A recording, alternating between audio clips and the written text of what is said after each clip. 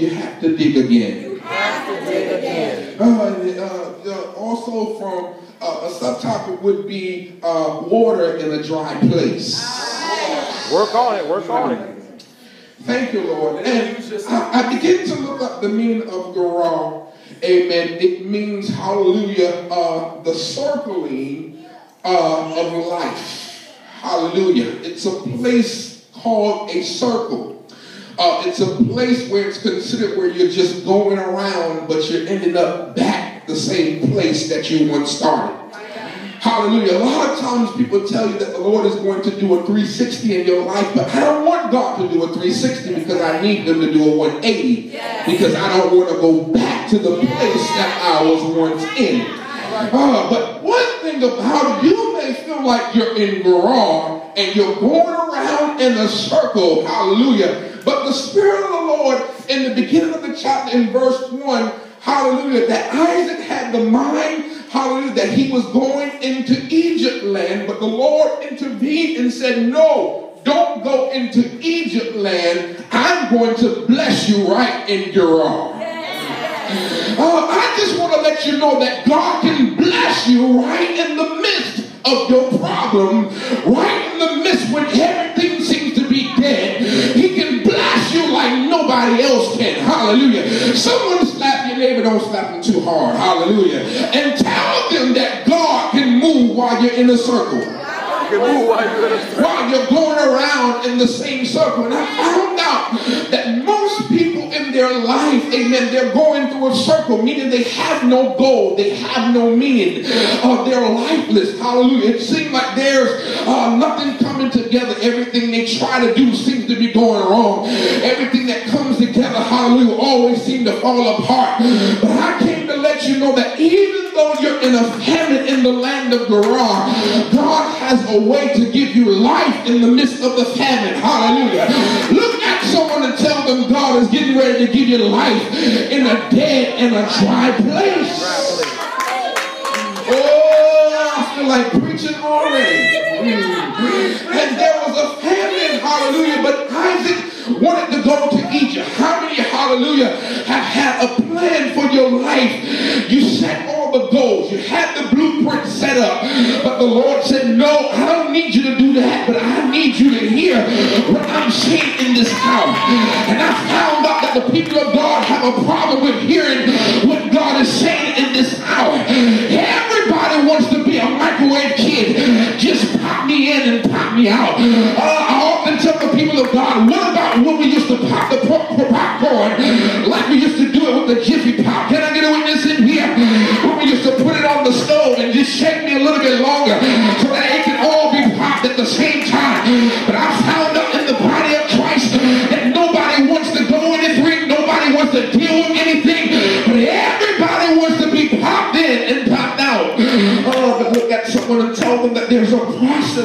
going through.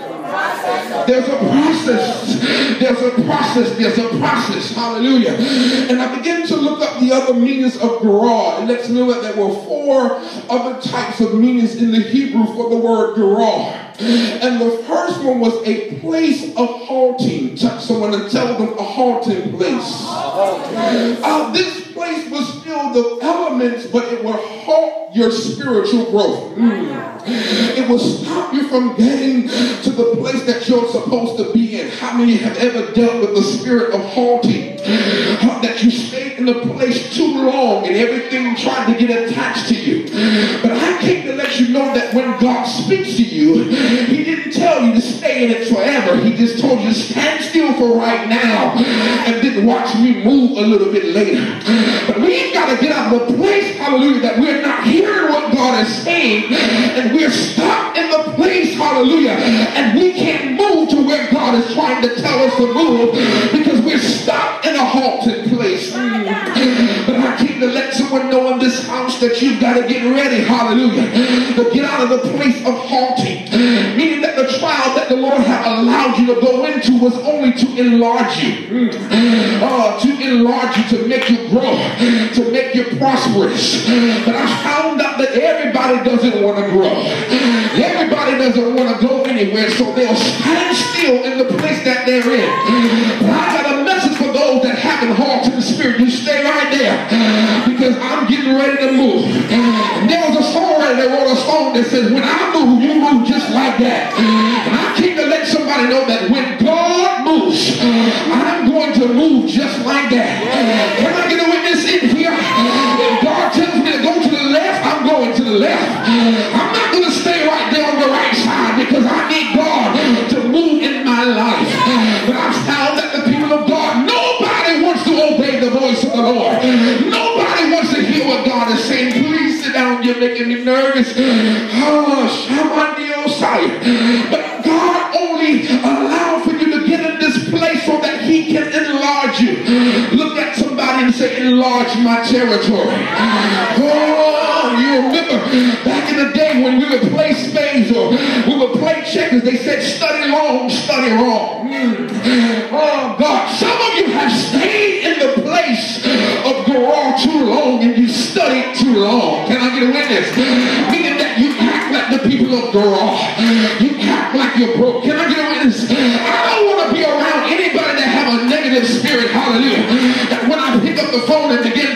I'm doing bad. I feel bad. The devil is a lie. You can stay right there because I'm not broke. Hallelujah. But the Bible said that the blessings of the Lord make you rich and addeth no sorrow. So you mean to tell me the fact that you woke up this morning,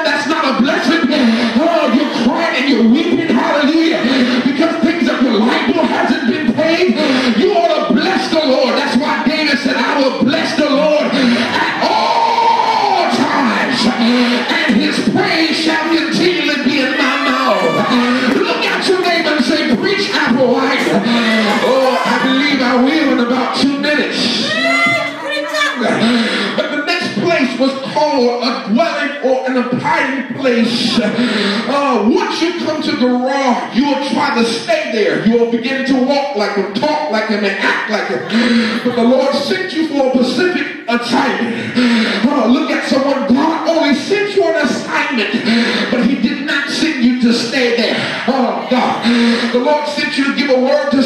but He did not tell you to stay there and have dinner with them. Oh my God. Oh, he did not tell you, hallelujah, to be their buddy or be their friend. But he just sent you for a specific task. Look at your neighbor and say, you got to hear God in this season. You got to know when God is telling you to move. Because God only sent you to, sojourn there and be there just for a temporary stay. Oh my God. I'm has an assignment for me to go forward.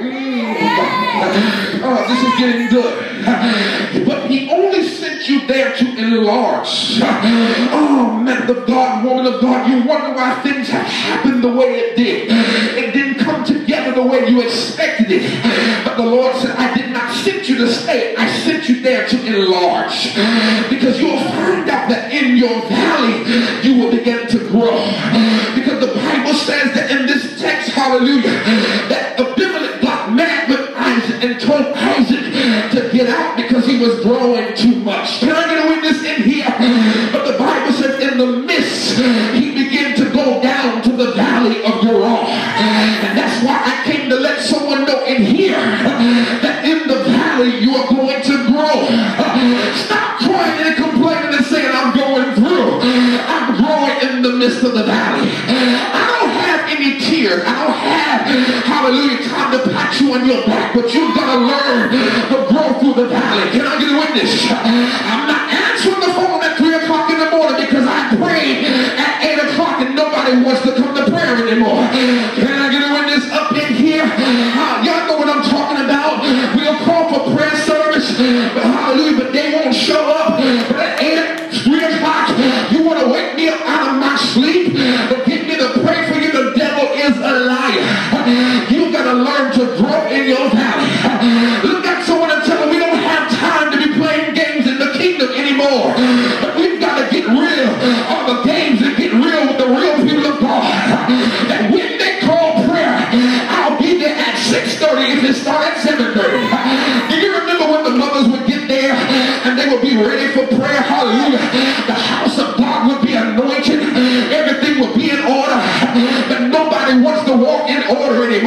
nobody wants to walk in the favor of God anymore.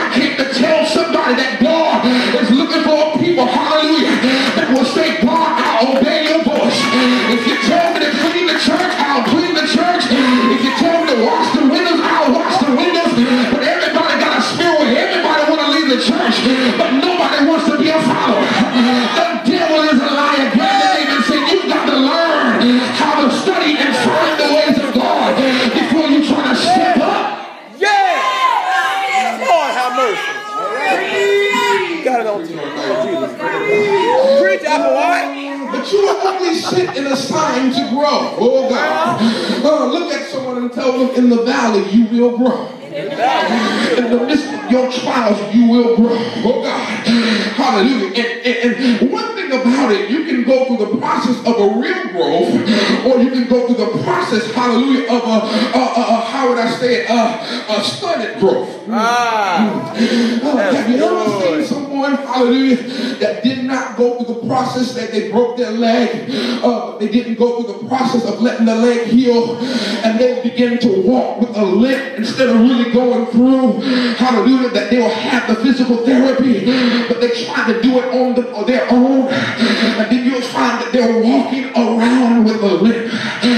Oh, God. But I love the voice of Isaac. I love what he did that in the port, hallelujah, that he went down to the valley of Gerar when Abimelech had kicked him out. Grabbed the neighbor and said, neighbor, you're getting ready to grow so much in your valley. They're getting ready to put you out. Oh God. And I, I love about when Pharaoh, hallelujah, that when the children of Israel went down in Egypt land, that the Lord hardened his heart so much He told them to get out. Oh,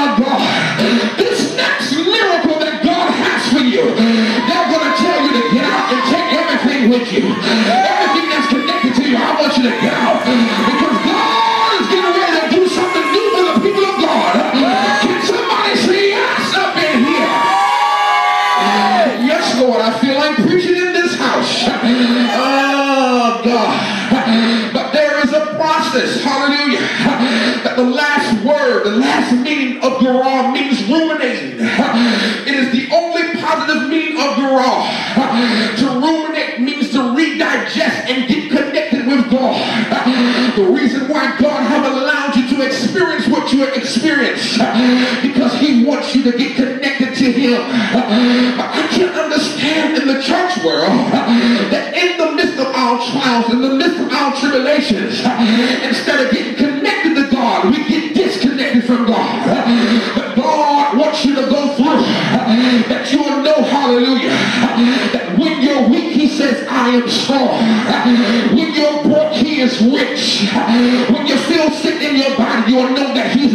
When you're going through the biggest trial in your life, you will know that nobody can bring you out but God. But I came to let you know, hallelujah, that people of God, even though, hallelujah, you're just like Isaac and you're getting ready to dig your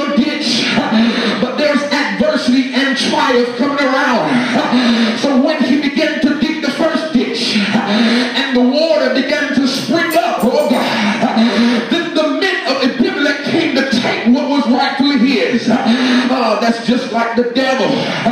That every time you try to go forward, the enemy will step in. So Isaac said, I'm not going to bother with it.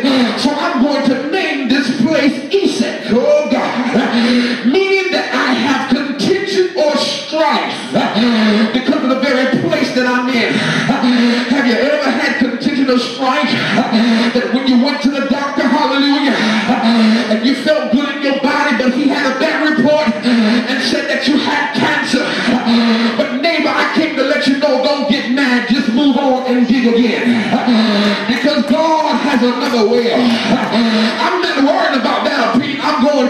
To doctor. And I found out that Dr. Jesus, he's never lost a patient. Can I get a witness in this place? Oh, just dig again, dig again, dig again. And the second place, hallelujah, that when Isaac went through what he went through, so he began to move on. Some of you are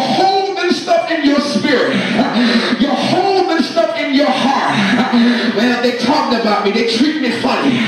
They call me everything but a child of God. But people of God begin to move on.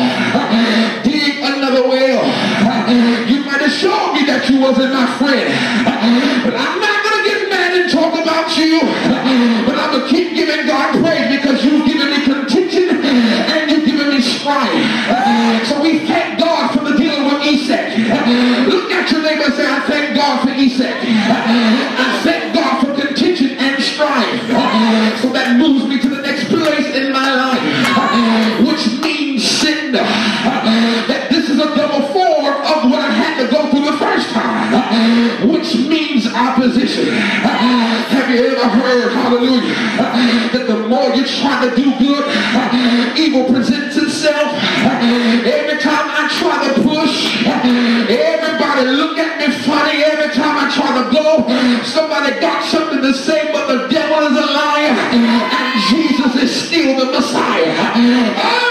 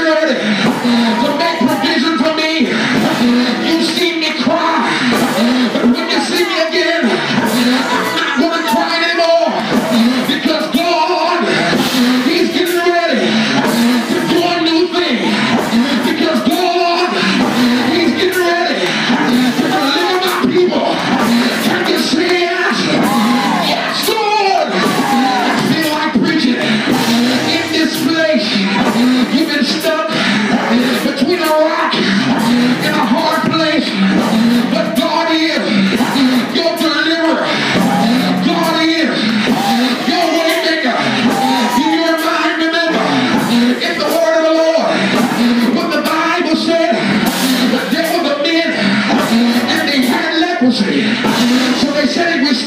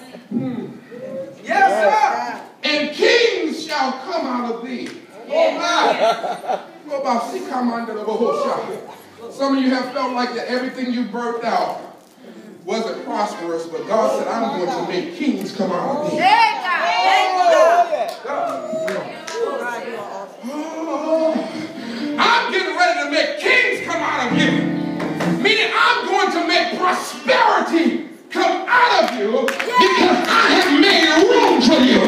Saith the Lord God. Preach it here, I got, I got two more nights to go. I'll preach myself. Yes, stop. Yeah. Yes, sir. So, thank you. Everything that have come out of you has been broken. Hmm. But he said, I'll make kings come out of you, men of God. And God Almighty shall bless thee and make thee fruitful and multiply thee. Thou and the multitude of people. Hmm. Thank you, Lord. Oh, my. Hmm. So on, so on. Pastor, this is for you. Whoever's connected to you have to grow. My God. Woo, glory. Because you'll find out who's really connected to you. Because if they don't, if they don't grow and you're grown, that's not the one that's connected to you. Oh, my. You'll find out that in the midst of going through, you'll find out who's praying with you. You'll find out who's living real. Can I get a witness in here? When they pick up the mic, you'll hear an anointing. There's a sound similar to yours. But if it don't sound similar, look, something ain't right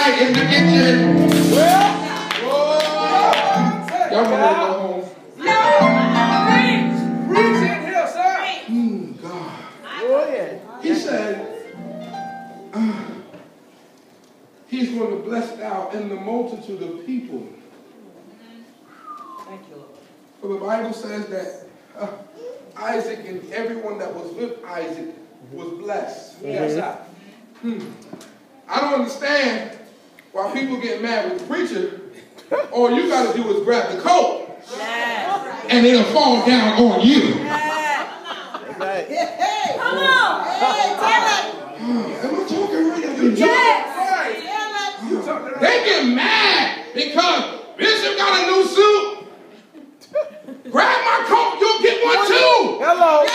You'll find out I only paid twenty dollars for the suit.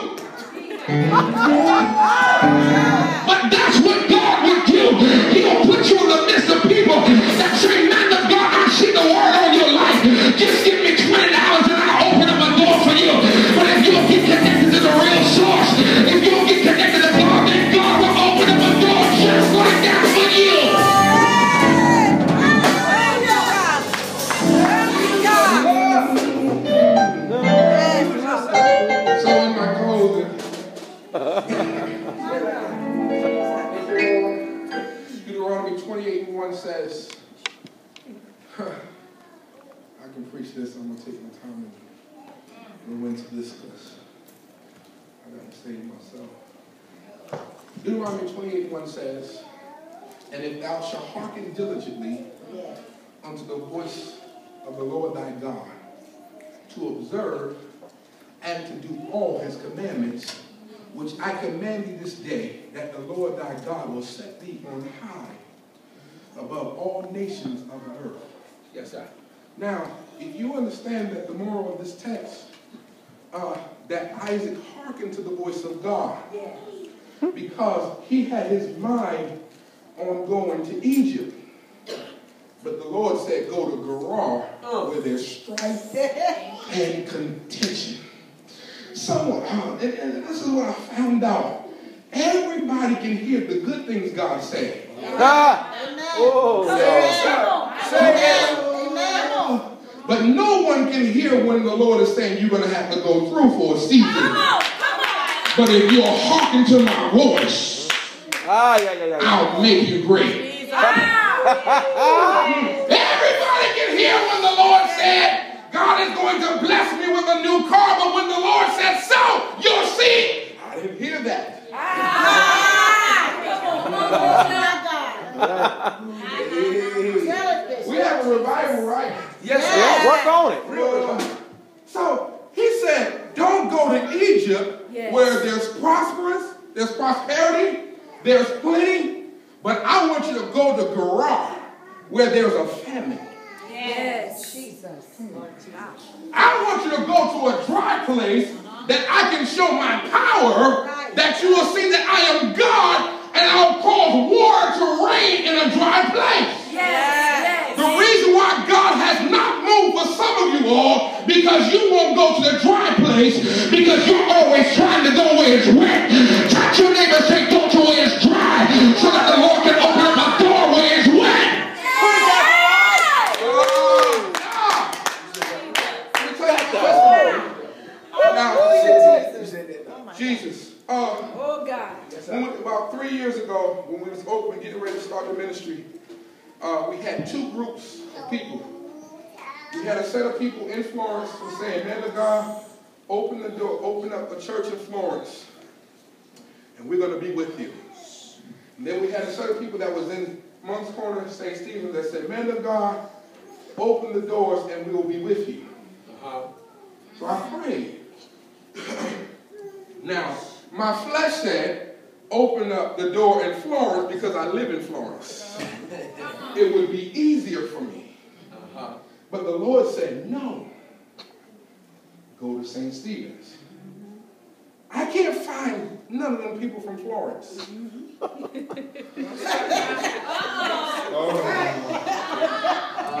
Not one. Now I got some people from Florence now. Amen. That drive there. But if they were really with me, they would have came there. Ah, yeah, yeah, yeah, yeah, yeah. That's Good. That's good. Yes, sir. Meaning that when I was serving my man of God, it didn't matter if he moved to Egypt, I was going to. Yes. Oh, God. so, Pastor, in the process, he said, go to St. Stephen's and I'm going to bless you there. We were in a shop, uh, smelled like burnt hair. Yes. We would take all the chairs. We bought some chairs from Lowe's, and we would bring the chairs out into the middle of the aisle. My sister-in-law allowed us to go into the place free of charge. Yes. Just have church. So every Wednesday, every Sunday, we'll pull the chairs, and she had the speakers were like this, sitting up in her shop all week long. Yes. Amen. We'll pull them out, and the people uh, would get weary, but God blessed in the midst. Yes. Amen. That the first service we had in the shop, 20 people joined. Oh, come on. Yes, God. Yes.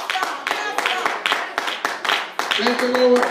And I probably only lost two because I had two Judases.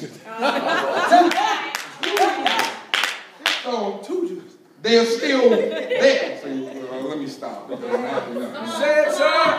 So I obeyed the voice of God that uh, the doors opened and it began to grow and grow. Yes. That uh, within the second year, uh, my bishop came down from New Jersey. He said, he said, Bishop, he said, the hand of God is on you. He said, because I don't see who can just call people and it's done just that fast. He said, I can't get my people to do nothing. Amen. I said, I just obeyed the voice of the Lord. And I had the dream. Another apostle had even told my wife, said, your, your, your, your um, husband's getting ready to go up into the bishopric. And I was oh, no. I don't want to be called no fly by night. No. Thank you, Lord. And uh, so Bishop, he said, you were already a bishop when you were serving your leaders, but they just didn't see it. Amen. My God. Well, they saw it, but they didn't want you to go. That's it. Thank you, Lord.